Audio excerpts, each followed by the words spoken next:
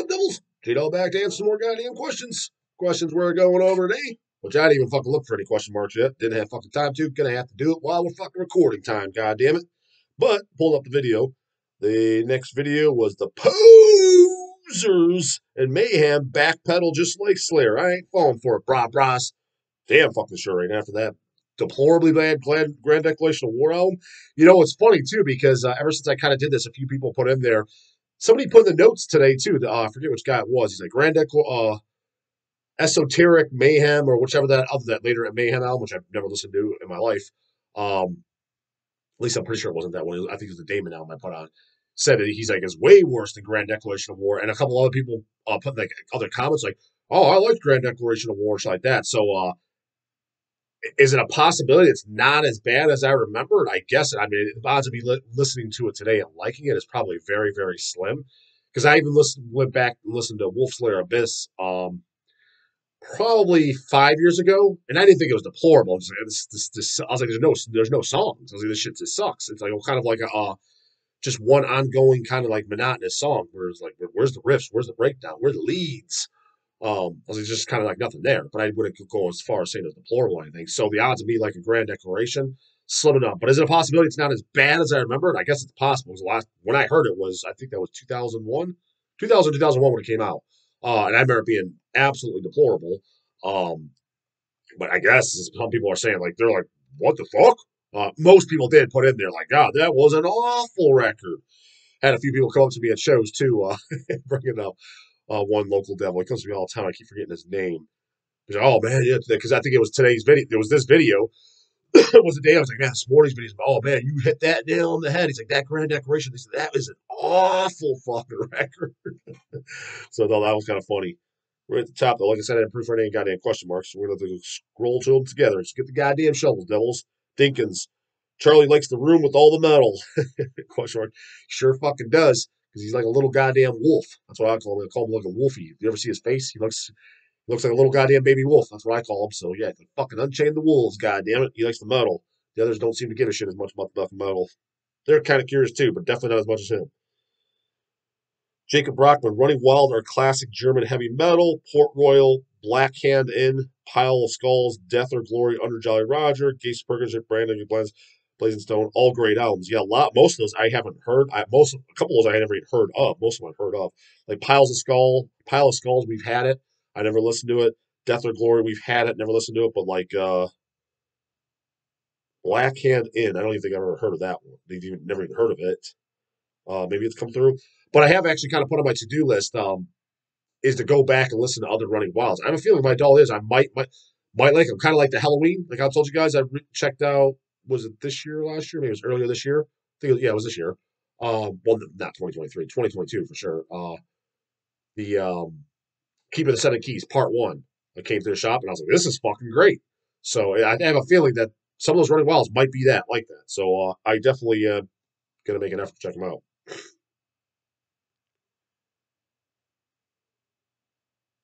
Human Brisket, I can imagine Matt Harvey excited to hear the album in the meeting and then going, people asking, how'd it go? like I said, I remember his story vaguely. He told me it, uh, but basically, what the way he described it is kind of like that's why I just find it funny when now, fast forward 20 years later, and you got presumably it's presumably it is mostly younger guys was like, "What are you talking about? That's a classic." And it's like when it came out, I was like, nobody liked it. I, I don't know anybody. Like again, everybody outside, gay him, fucking gay him. That's what they're calling him because when that out, that's what they said. So it's not like I'm some fucking gatekeeper, goddamn Nazi. Only Vault's real. Only Raw's real. Only goddamn demos over here. I'm not fucking saying that. I just it was as an album that was deplorable for mayhem. From what I remember, it's like it doesn't sound what the fuck. This doesn't sound anything like goddamn mayhem. That's what I how I recalled it, and that was the it wasn't just me saying it. Everyone else thought it too. Matt sure did.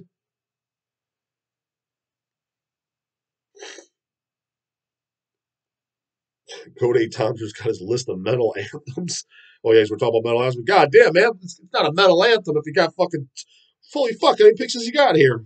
24 goddamn picks. That's just more like uh 24 of your favorite songs. That's not like a metal anthem. Distributive call points, J Dog. Are you coming over to Don's house later tonight? He's throwing his annual X Max party. It's gonna be a banger. Like, oh shit, Don ain't fucking have no goddamn party at his place. Motherfucker barely has the heat on when you go over there. It's fucking cold as fuck.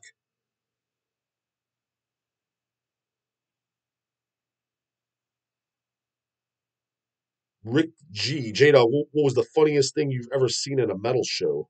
And people really ask me, I've been asked that that might be the most asked question, not funniest, but what's the craziest shit you've seen in a show? Um, I've kind of already answered that several times. And even funniest, uh, I never actually, I don't, yeah, I can't think of anything I saw that was funny. I could definitely say that there's been times where a band member, you know, a stage banner or something, uh, they said shit that it was funny. I definitely gone to Nunslaughter shows and Jim and Don's banner made me laugh. Ghoul's stage banner made me laugh. Impaled stage banner made me laugh. Exhumed stage banner made me fucking laugh. Um, what did make me laugh once uh, at a mortician show back when the posers weren't there, not the 99 show I keep telling you guys about. I think it was for it was before Reanimated Dead Flesh. I want to say it was for Darkest Day of Horror. You know, another fucking funny thing is, which I still have to this day, I forgot all about it just to show how much of a die-hard goddamn Mortician fan you know, for all these fucking posers. How many old fucking goddamn Mortician uh, fanatics that are still out there? How many of you guys remember when um, Domain of Death came out? And they did it for Darkest Day as Horror as well. Before Relapse's CDs came out, so they did a tour for each album before. There was the tour edition where it was just all black, um, the logo, and it said Domain of Death, and it was hand numbered out of a thousand copies. The band pressed themselves, and they were selling them all on the tour. It was like an advanced copy they're selling for 10 bucks. Basically, kind of like my seven inch idea. Like, I'll go back to my past goddamn seven inch idea for fucking these goddamn bands like Deicide and Cannibal, who are brain dead morons for not fucking doing. Just a goddamn money out making opportunity, like just waiting for them to fucking happen. Not to mention cool ass collectible item for the fucking the devils that collect shit anyways, uh, this similar thing. That's what Mortician did, and uh, I bought both of them before they came out. So I owned Domain of Death before it came out on uh, officially, and I owned Darkest Day of Horror. They just did it for those two. I don't think they did it for Reanimated Flesh. If they did, I was unaware of it. Um, they toured for both albums, and uh, yeah, so I had I had both albums before they were even out, like out now on Relapse. And it's funny because I remember waiting in suspense and excitement. What's going to be the cover art? I knew it was going to be Wes Benscoter, or at least I, I assumed it was going to be. Um, so excited to see the cover art because I've always loved the cover art too. I mean, I think every Mortician cover pretty pretty fucking badass. Chainsaw being my favorite one probably. So you didn't know what the cover art was going to look like, and I bought that when it came out too. Then with the actual cover. But anyways, I think it was uh, for Darkest Day. There was this uh, guy. It's funny because uh, I think his name was. Funny, I don't know if Erica Chase remembers his name. Maybe his name was Mike. He was an older guy he came out to shows. He kind of just got into death metal. When I say older, he was like in his 50s. He was a businessman and he owned like a bunch of condos and shit. And um, I don't know how he found out about the metal scene or whatever. He literally just looked like your typical dad or whatever. But I don't think he was a dad. I don't think he was even married or had kids. Maybe he was. That's irrelevant. But he did. He looked like a typical dad. But he's kind of a little strange, I guess, but not in a bad way. Just just a little different. Where you could tell he's like, yeah, you know, just just just a little strange. That's the best way I can say it. But yeah, not in a bad way whatsoever. Anyways, when we were vending at shows and stuff all the time, this guy would always, uh, he liked the brutal shit, fucking brutal shit, the disgorges, the last days of humanity, the deeds of flesh, the devourments, the disavows, the, you know what I mean? Uh, all that shit, you know what I mean? All the brutal stuff coming out, the pyemias, all, all that. And uh, he would literally just give us, I think we were selling CDs because we we're, we're vending at shows all the time. Every show he would come pick me three CDs out that you recommend. And you just can whatever it was, 30 bucks, 36 bucks, whatever it sell for. Picking me out three. That was going, this guy's great. And then you had next show, oh man, they're so good. Like he was really excited. He even drove uh, to a couple out of state shows. And uh, I remember one time he's like, man, between the map quest and the tunes you guys picked out for me, that drive was a breeze. I think it was a Detroit show or something he showed up to. Matter of fact, I think it was maybe one of the Metal Mom Fest. I think it might have been the year Devourment played the Metal Mom Fest. That's when I first seen Devourment. I think it was for that. He drove up for it too. Devourment played, Anal Blast played. Because I don't think he would like too much of the black metal, the brutal shit. Anyways, so, so was this guy, right?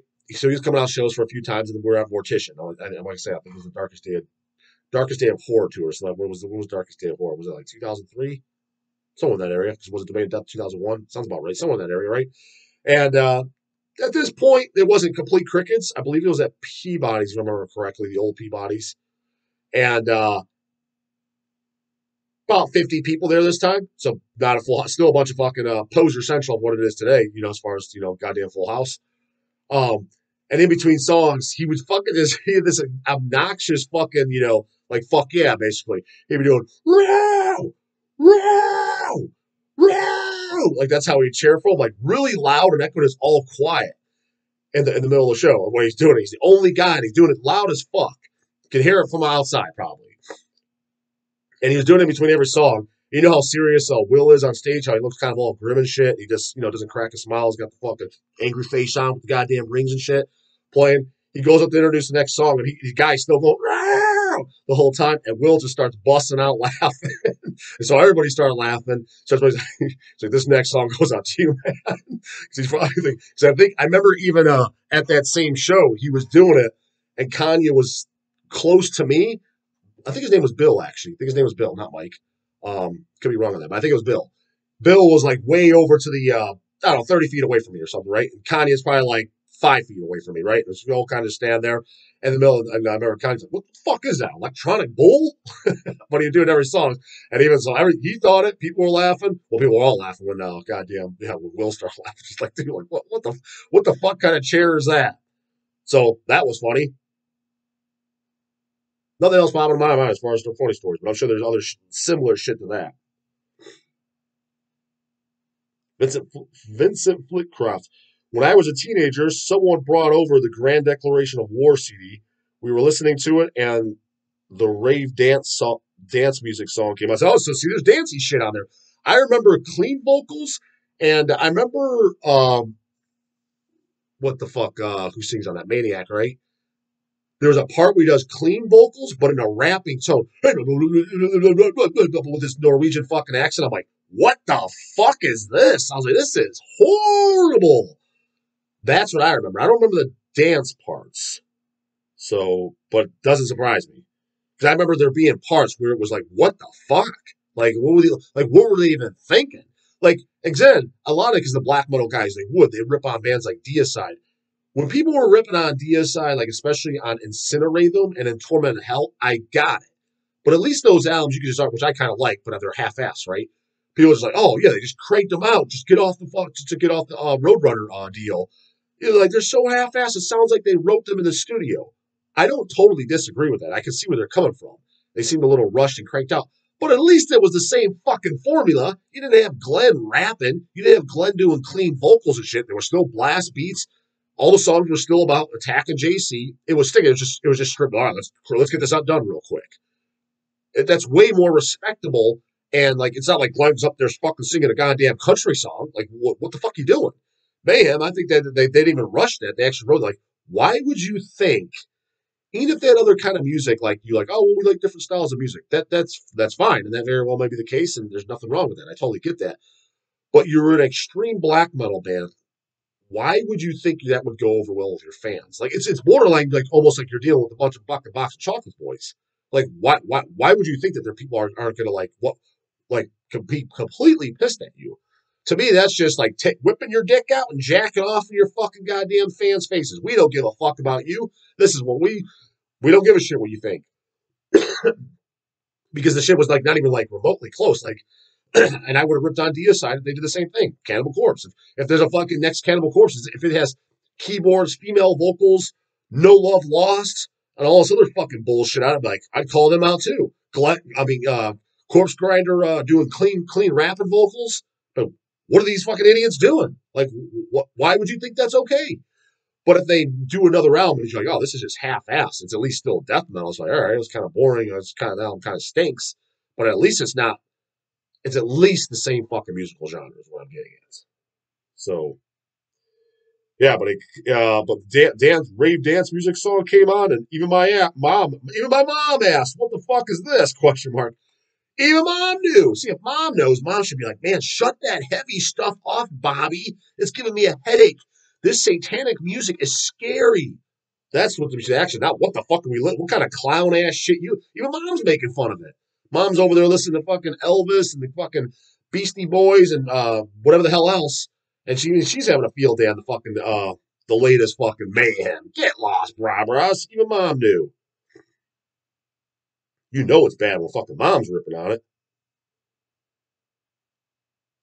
Genghis Ghost. Jada, what are your thoughts on Gaahl era Gorgoroth? I think that's a classic example of poser metal.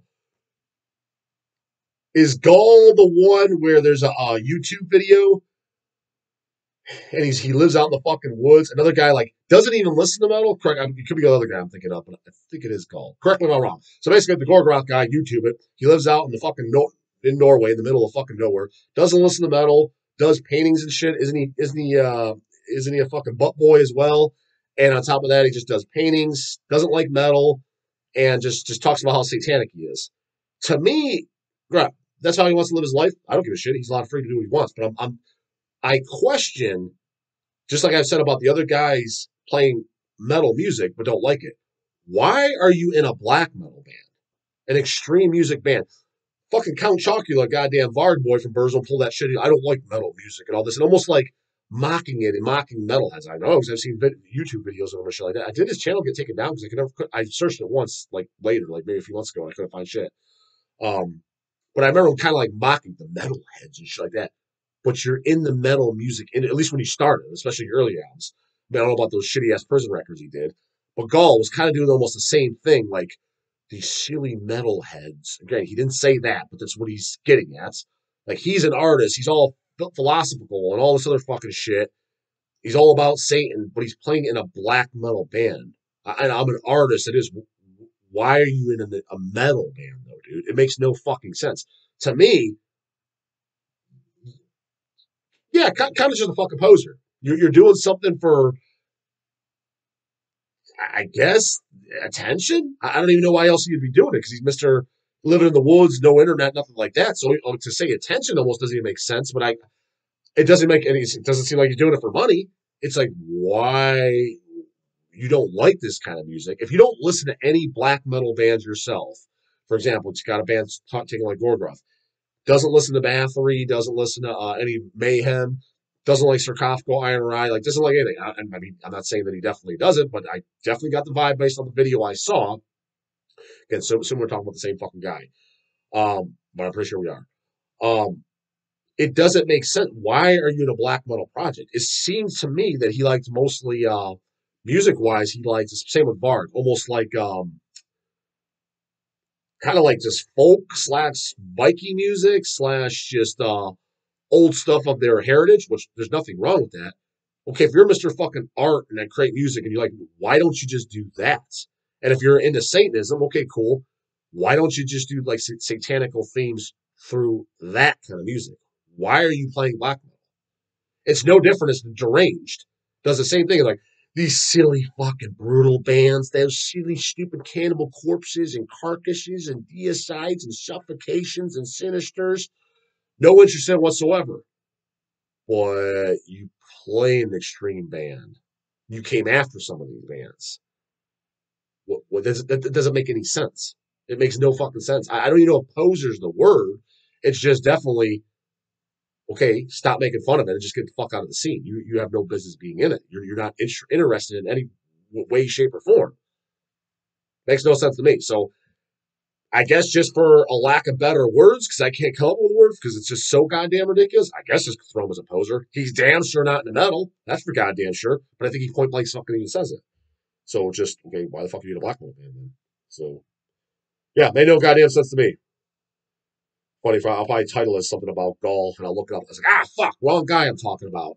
Because uh, uh, Gorgoroth, what I really like, I like Pentagram. Specifically, the vocals on there are badass. And uh, which one sings on that? Is that Hot or Hats? you know what I mean?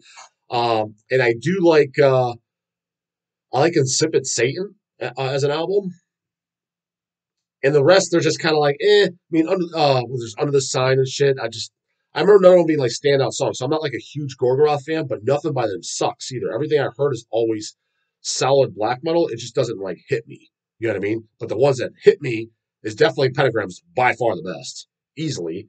put on Antichrist and stuff. I'm like, why are these songs just not hitting me like they do on Pentagram? And then uh, Gorgora, I mean, uh, Incipit Satan. I even like some of the goddamn uh, clean vocal parts on that one. I don't know. It just sounds kind of, I guess, kind of demonic. I just, I just, I just, I overall just enjoyed it. I just thought it was kind of a unique black metal album. Um, so whichever, whichever fucking guy it is, I'll, I'll mention it. But I'm pretty sure it's the guy that I saw the YouTube. Watch that fucking. Uh, I think it was Craig that told me about it. He, I think his, he, was kind of ripping on the guy or something. Something came up about him when he was doing Hellcast. And I did check it out, skim through it, and I'm just like, yeah, why, why is this guy in the black band? It makes no goddamn fucking sense. I'm pretty sure it's the same guy. But I'll probably put up like, oh no, it was fucking Ball or whatever. You know what I mean? It's like, but I'll, I'll, I'll figure it out. So it's the wrong guy we're talking about, the wrong guy. But I'm pretty sure it's the one we're talking about.